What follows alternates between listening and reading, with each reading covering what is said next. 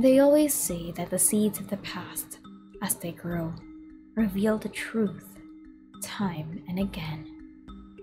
The Abyss sibling is the tomorrow of the travelers today.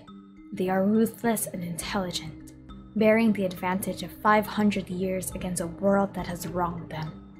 Today, however, we are not focused on what the Abyss sibling has planned for the world, but rather what they learned from it. Understand the inner machinations of the Abyss siblings' mind and the history and journey they went through to become the ruler of the Abyss they are today. Understand why they wish to bring ruination to Teyvat. Understand what they know of divinity. Understand where they found the knowledge of the weaponization of celestial powers. Welcome to the second video of the Corruption Trilogy a series of three videos encompassing the plot for several key theories of the past, present, and future plot lines of manipulating and distorting powers beyond mortal understanding. The first video covers the present situation of the corruption of divine powers and the many atrocities committed by the Abyss and the Fatui regarding Archon residue, as well as two potential key allies of the Traveler against those very crimes against nature. However, for this one, there is something I wish to study about. Because I believe the Abyss Princess's plan of corrupting the divine came from something much more rooted in her past, much more personal to her more than anything else. I believe she saw this very plan unfold before her eyes in the 500 years she walked Teyvat. Today, I want to study an important topic the importance of Lumine's journey, and how she will continue Gold's legacy of corruption.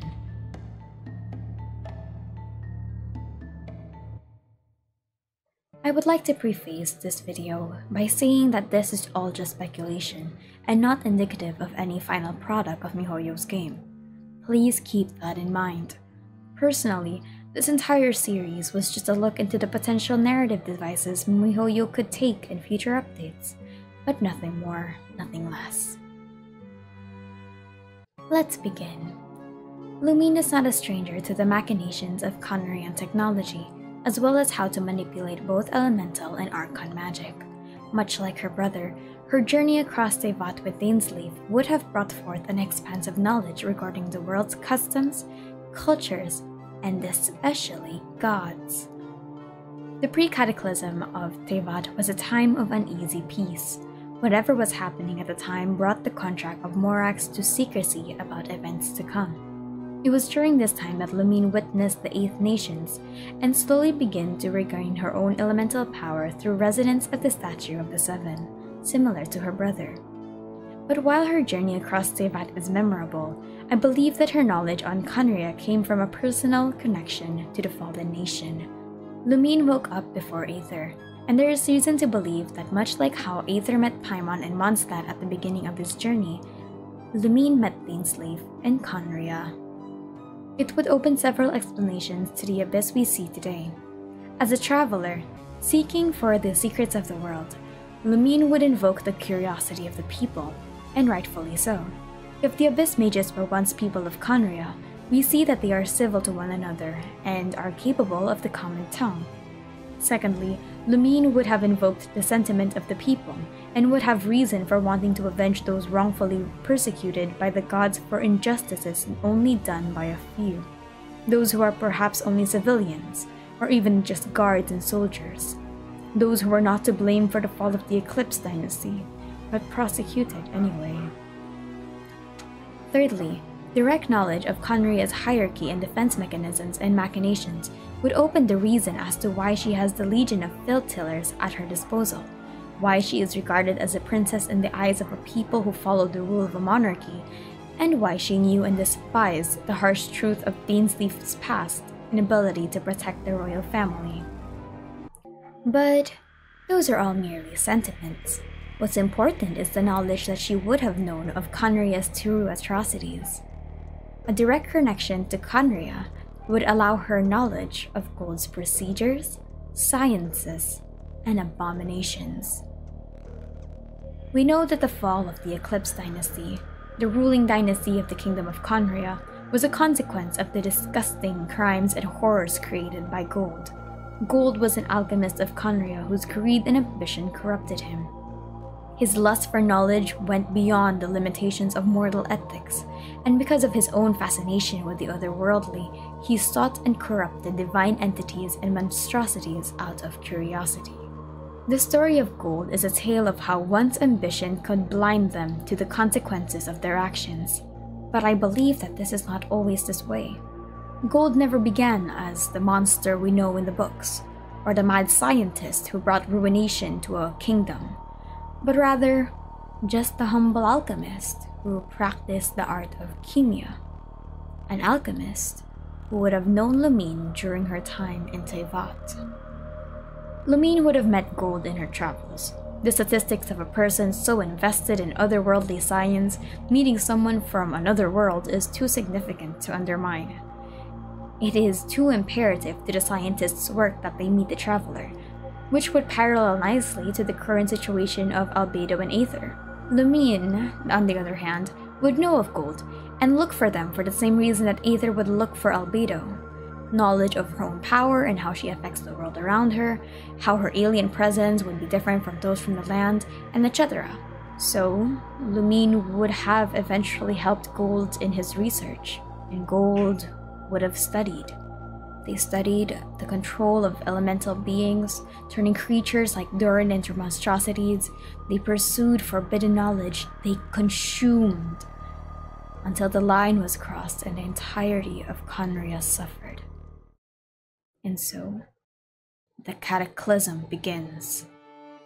The fall of Khaenri'ah. This is where she wakes Aether, where the world falls into tumult and the lands are purged in scarlet. This is where she meets the unknown god as the twins try to leave. This is where she loses her brother to the fate unknown. The original calamity had been overturned, yet the island in the sky set the earth to burn. Chalk pursues gold in this time opportune. The eclipse is swallowed by the crimson moon. The future must atone for bygone mistakes as the bond familiar falters and breaks of the same blood, elders, and the youth. Such is the cycle in truth. In the trailer, we see Lumine standing in the ruins and ashes of a fallen kingdom, the dynasty of the people she once called her friends and companions, separated from a brother into a land purged in war. I believe that this was the truth of her journey. Perhaps this was what Lumine learned. The truth that though Gold's creations were decimated and brought down by divine punishment, the gods still set the earth to burn.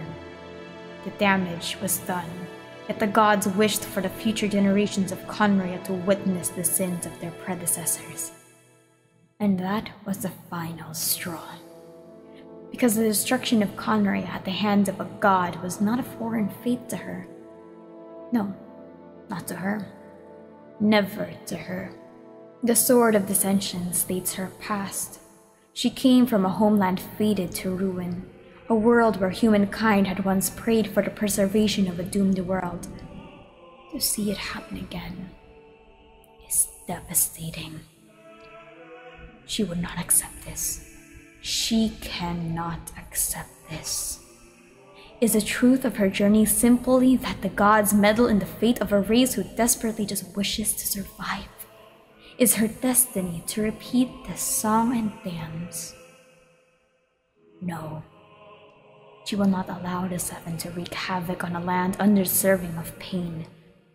So she will build an army, from the ashes of which the old nation was burnt to call upon the gods once again in anger, drawing a blade at them as a mockery of the beings of Celestia. We know that Lumine is planning to weaponize divine entities both alive and diseased to destroy the seven nations. If I had to make a guess, this is because Lumine wants to challenge divine judgment. draw the power of Celestia by showing them that they are not above mortal kind simply because of their power, and that the very essence that would have made them special can be tainted and corrupted. I believe that the reason she wishes to turn the very divine power that Celestia holds and manipulate it into an energy antithetical to the light she once wielded is because she wants to show Celestia truth. Who are they to throw away human life like worthless dross? Which is why she learns. She studies. She returns to the people of the abyss, those who have been changed into the creatures we see today. It must be noted that the 1.4 update does not state who explicitly changed the people of the abyss whether it was Gold's abominations and experiments or the gods' final curse upon the land. But regardless, the damage had already been done. Here is where she returns to the source of the cataclysm, the very science that corrupted a great mind simply because of a desire and lust for knowledge. She studies what gold knows. The history of abyssal magic is shrouded in mystery, and even with the lore we have now, we don't know anything about it. But we can make several assumptions to what it can do to beings tainted by it. We know that the magic used by gold is antithetical to celestial magic, capable of dyeing Zhongli's pillars black and poisoning Venti and Dvalin. We also know that abyss magic can make an entity go berserk, like Odurin, who was once a benevolent serpentine dragon. Abyss magic also corrupts those that fight against its monsters or learns under it. The Mask of the Kijin states that the line between the two worlds is thinning, and that maybe perhaps corruption is not monodirectional. Ajax, after spending three months training under an abyssal swordswoman, changed and became more power hungry. Whatever this magic is, it is also capable of harming archons. Which brings me to the possibility that abyssal magic is simply corrupted archon residue, or rather, otherworldly energies brought into concentration by the art of Khemia, and then combined with archon residue to become an enhanced form of elemental magic capable of harming even the divine. It isn't impossible to say that this is why delusions are capable of overpowering gods if they bore the same essence as abyssal magic, then it would make sense why Signora was able to fight Venti. We also know that those injected with pure Archon residue are capable of manipulating the elements, and even those without a vision can use a delusion. I believe that whatever Gold's abominations were came from the same sciences as the delusions, except to a larger level, which leads back to Lumine and the Abyss Order. Let's humor the idea that Lumine would have known about the descent of gold into madness. She would have 500 years to research everything about gold's monstrosities.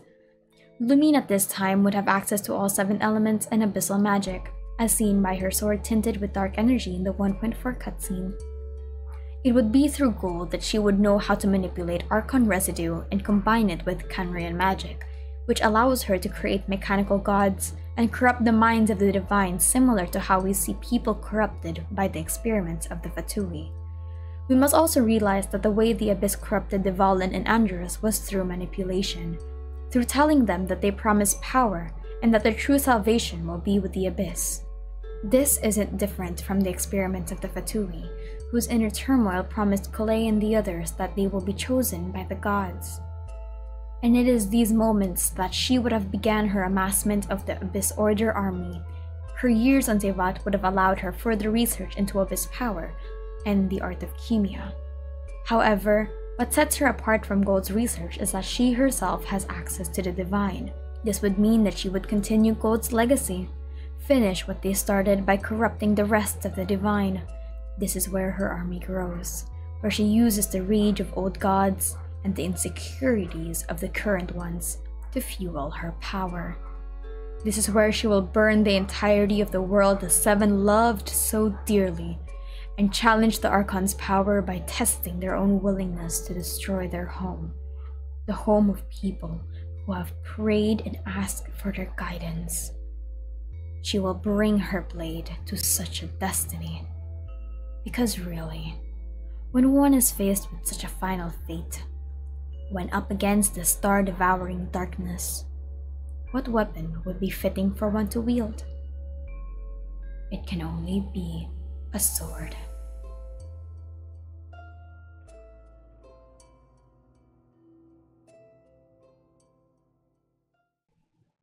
And end scene! That was such a much more calming video because I really wanted to experiment with just storytelling in general. I am absolutely, absolutely fascinated with the tale of Lumine. And I feel as though if I did just the usual cut and cheek throat of a documentary, I feel like I wouldn't do it justice. But regardless, thank you so much for watching. And if you want to check out any of the other theories or any just chit chat in general, please feel free to go down to the description to look for my Discord. I have a Discord where I just chill, and there's a lot of people that really like sharing theories as well, if you're into that kind of thing. And I also Twitch, uh, not every day, but like good enough. But yeah. And this is part two of the corruption theory. Bye bye.